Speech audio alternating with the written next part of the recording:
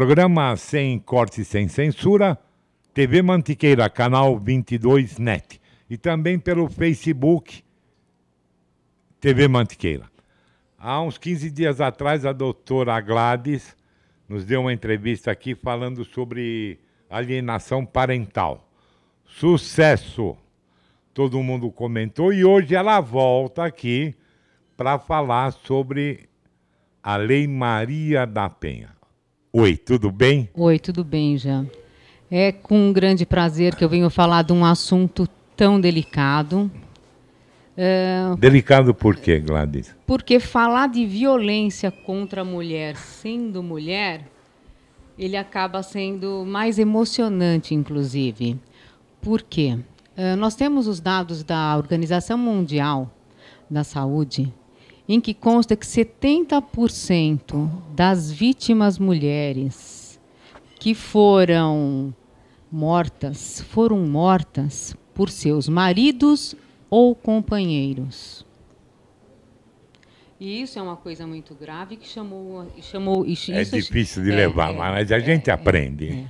É, é. Outras, outra, outro dado dessa mesma pesquisa é que 29% das mulheres no estado de São Paulo foram vítimas ou de agressão ou de violência sexual. Não, do, do estado, 29%, 29% de todas as mulheres. 29%. De todo o estado de São Paulo? São Paulo.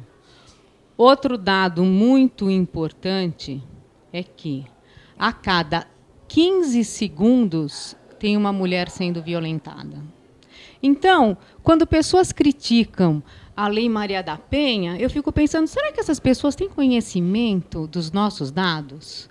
E vejo que esses dados eles foram apontados recentemente, em 2008. Então, se você me perguntar, olha, após a criação da Lei Maria da Penha, diminuiu a incidência dos crimes de violência contra a mulher, nós não podemos dizer ainda exatamente. Apesar de constar nesta, desta lei que serão feitos os registros, nós não temos condição de avaliar ainda.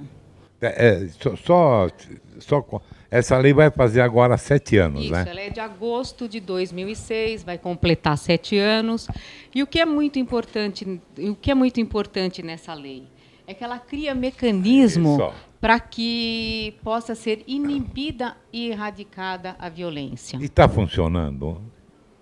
A grande questão é fazer com que as mulheres vítimas de violência façam a denúncia. Essa é a grande dificuldade. Porque, por N fatores, as mulheres não gostam de comparecer a uma delegacia de polícia.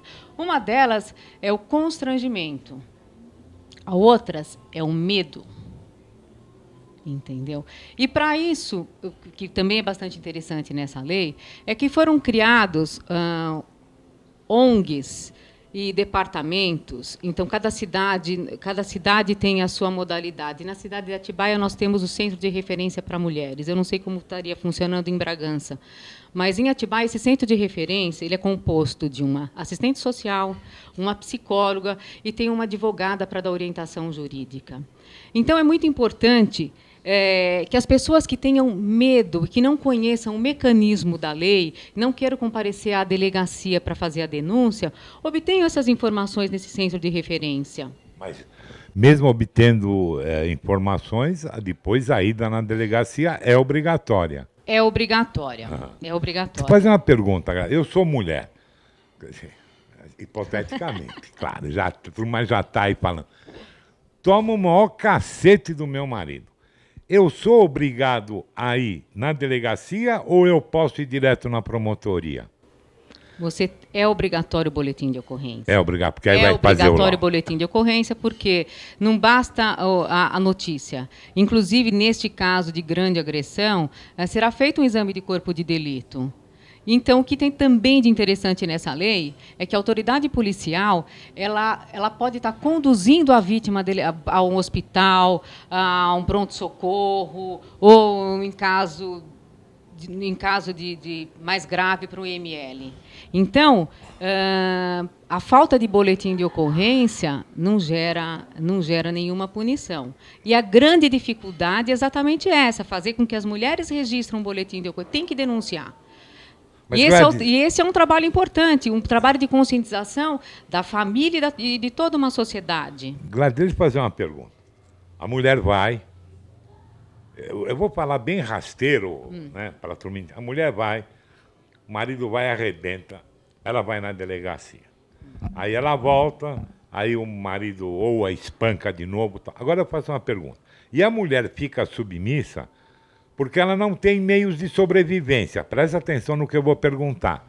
Agora eu te pergunto: entre é, casais milionários, quer dizer, os dois estão bonitos no pedaço, acontece isso também? Eu sei porque você advoga né, para a classe. Né?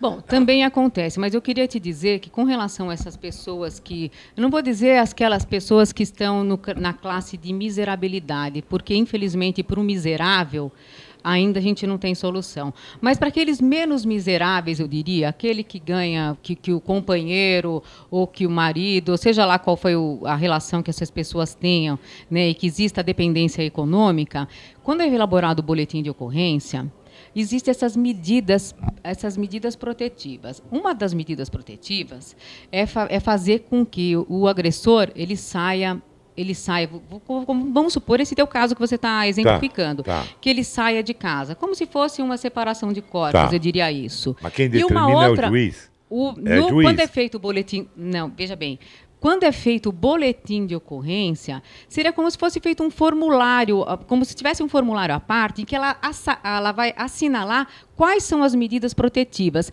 E uma delas é fazer o pedido, da, pedido de alimentos. E o de, e o de, e o... Esse documento ele é levado para em 48 horas esse boletim de ocorrência ele é encaminhado para ele é encaminhado para o, o judiciário ele vai ao fórum em 48 horas. Isso é fantástico. Nós não tínhamos isso antes. Quer dizer, apanhou na domingo à noite apanhou. e na quarta já. Pede, veja bem, ela pede a proteção. Essa proteção, uh, essa proteção, ela pode ser tanto para o afastamento dela, e dependendo da gravidade, é para afastamento do agressor. Nós estamos falando de casados, hein? É. Mas essa agressão também ocorre quando são namorados, quando tiveram um relacionamento. Companheiro também, não é? Sim, mas a, a ideia que se tem é que a grande violência ela ocorre, com, ela ocorre dentro uh, da casa em casais uh, que tenham ou estão em união estável, ou que sejam casados. Mas vamos supor num caso de namorado. Isso. Vamos supor no caso de um padrasto Entendeu? Essa lei ela vai além de tudo isso. Então ela faz com que esse agressor, se essa pessoa se sentir vítima, ele seja afastado do, ele seja afastado da casa. Por determinação, no, por determinação judicial. judicial. Ah. Digo mais. Uh, no caso de namoro, aquela perseguição incessante, nós tivemos o caso, o caso Eloá. É. Entendeu?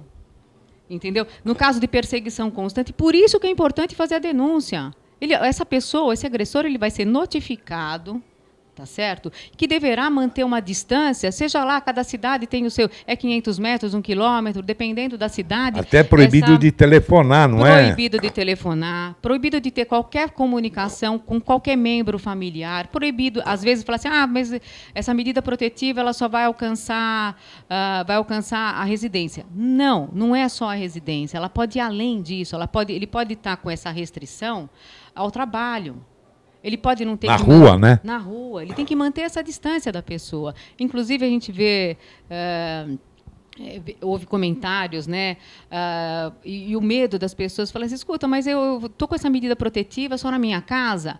Se tá só na sua casa, porque você pediu, você entre aspas, né? Ou, ou foi mal orientada, ou, ou na verdade é má orientação mesmo.